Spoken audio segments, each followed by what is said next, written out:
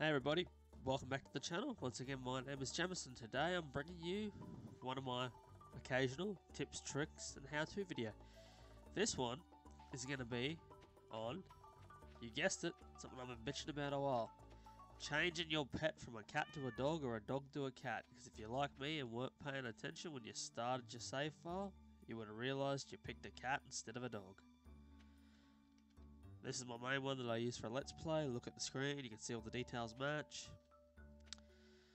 So, what you gotta do is, you don't even need to boot the game up, but I did this to clarity's sake to prove it. That's him.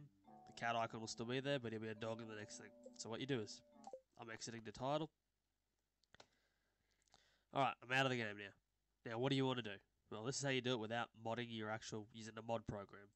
What you want to do is, open up your quick access file explorer if you're on Windows. Go into your profile, then come over to app data. Then pick the roaming folder. And this is usually where all your Stardew Valley saves will end up. So scroll down till you find it, go in. Go into saves. Pick the correct save. I like to edit both the old and the new so everything looks the same. So you go open with Notepad. Now whatever animal you currently have, type that first. So cat well, you go cat person. Your dog, just use the word dog. It's there's a lot less things that have the three letters dog in it. Uh, one word. There it is. And then change that to dog, all lowercase. There you go, find next, which is just because I'm lazy. So next one over. I change that to dog. And now you type in your pet name. In my case, it's Wombus.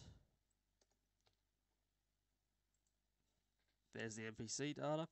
This has got to have a capital first letter. Remember that, capital or it will cause your game to crash.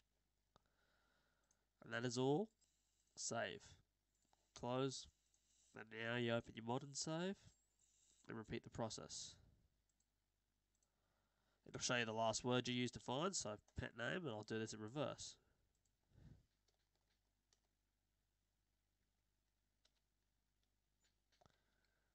I over backspace there, guys.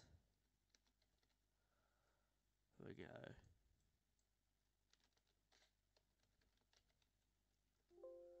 And again, I forgot to hit the up arrow.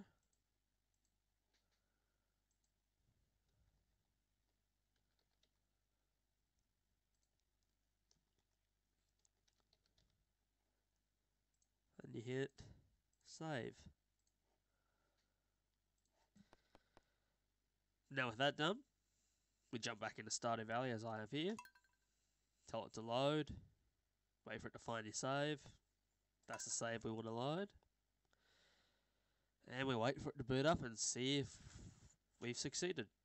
Good sign if you have that you've succeeded is the game won't crash upon loading. Now, we go out. And looky here, boys and girls. We've species changed our animal.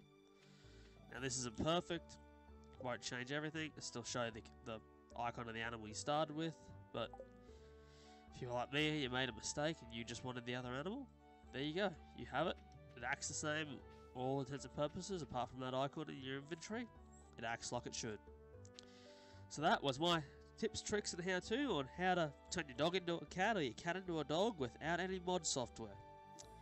So if you liked it, liked it. If you dislike it, dislike it. If you want to help my channel grow, feel free to subscribe. Uh, yeah, once again, my name is Jamasin, and I hope this video helped you guys out.